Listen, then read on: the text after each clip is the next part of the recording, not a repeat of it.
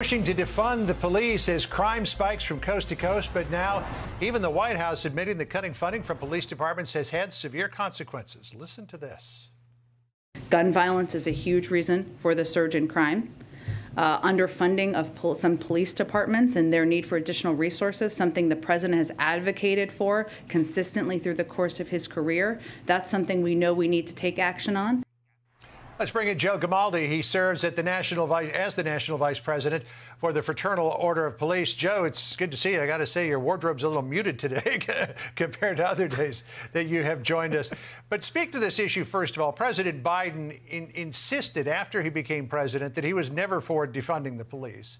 Uh, some people might say during the campaign he certainly walked a bit of a different line, but now the White House is saying at least part of the reason for the soaring crime that we're seeing across the nation is the underfunding of police. And I'm thinking to myself, what took them so long to acknowledge that?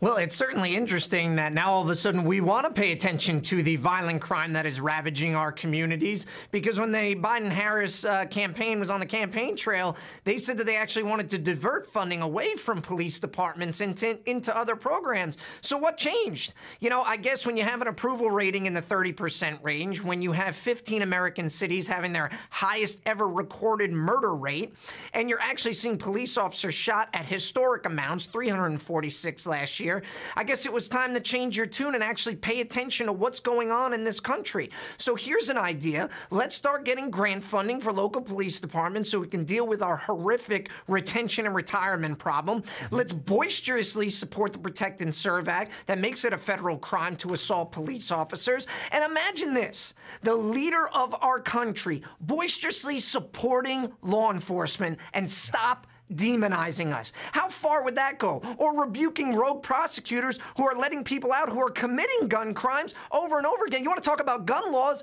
Let's stop giving them a bond every time they shoot someone. That's how we enact real change in this country, and President Biden needs to be leading from the front. Bill Bratton, who is both the commissioner of police in New York and, and, Los Angeles, was on America's Newsroom this morning. He was indicating that it's not just about funding for, for police, but actually applying the law and, and putting people who violate the law in jail. Listen to what he said. But key to all of this is going after very aggressively those who are using those guns to commit the violence. And right now, the criminal justice system in New York City, in New York State, is not structured to do that. District attorneys, state legislature, on up to the governor, have not been supportive of getting tough on gun crime. Uh, there's a clarion call now from this mayor. Let's see who gets on board with them. Uh, Eric is the right man at the right time. But I'm not sure about the rest of the political establishment in New York State. So Bill Bratton supporting Eric Adams, the new mayor of New York City. I guess the jury is out, though, on whether the Manhattan DA, Alvin Bragg, is going to live up to the challenge. Well, you know, it's funny, John. We know what reduces crime because the American police officer delivered historic crime reductions the prior 20 years to this huge spike we saw. We have to embrace the rule of law. We need to vehemently prosecute violent crimes, and we need to embrace broken windows. And to Commissioner mm-hmm. Bratton's point, when they were stopping people for turnstile jumping in the in the subways, they were catching someone with an illegal firearm one every 20 times.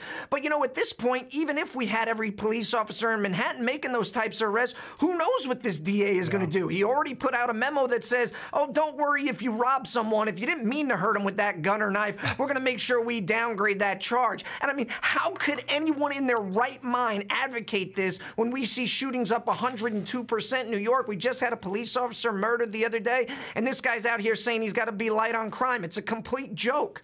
Yeah, back, back to your idea of the fare jumping and people being uh, arrested for fare jumping who had weapons in their possession. You know, often it's the people who commit the little crimes that commit the big crimes as well. So Eric Adams outlined a new plan to combat crime yesterday. Here's part of the blueprint: modified plainclothes police unit, modify New York's bail system, new units of neighborhood safety teams, additional checkpoints at buses and Port Authority, additional patrol on subways and streets, which people will be thankful for given what's happened in the in the subway. You got 30 seconds left here, Joe.